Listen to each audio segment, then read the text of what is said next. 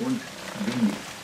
Heute Nacht gibt es Schauer, im Norden kann es bis ins Flachland schneien, im Süden liegt die Schneefallgrenze bei 400 Metern der Alpen Bergen unterwegs ist, sollte mit Schnee oder Schneematsch auf der Strecke rechnen, außerdem ein bisschen Nässe für Blöcke gut sein. Morgen am Nikolaustag in Süden Regen, oberhalb von etwa 500 Metern Schnee, mancherorts schneit es bis die Täler.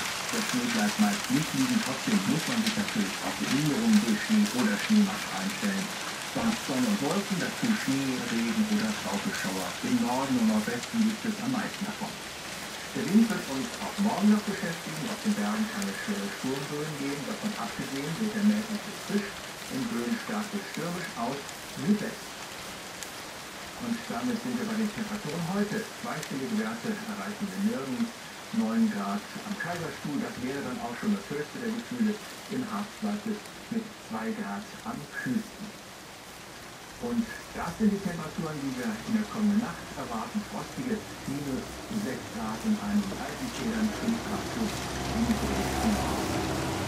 Auch morgen überall einstellige Werte. 1 Grad werden am Rand der Alpen und im Harzbereich, 7 Grad in der Kölner Bucht.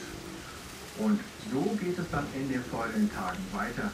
Der Mittwoch ist ein Tag zum Geheimbleiben. Viele Wolken, es regnet oft, in den Tagen schneit es auch. Gut, im Nordosten beginnt der Tag freundlich, 1 bis 9 Grad und es ist sehr windig.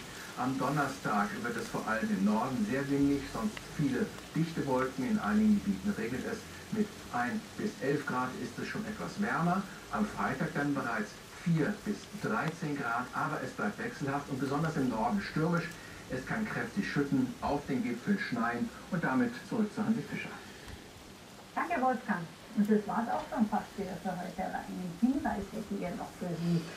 Wenn Sie mögen, informieren wir Sie morgen Mittag auch wieder, berichten über alles, was aktuell interessant und wichtig ist. Bis dahin finden Sie uns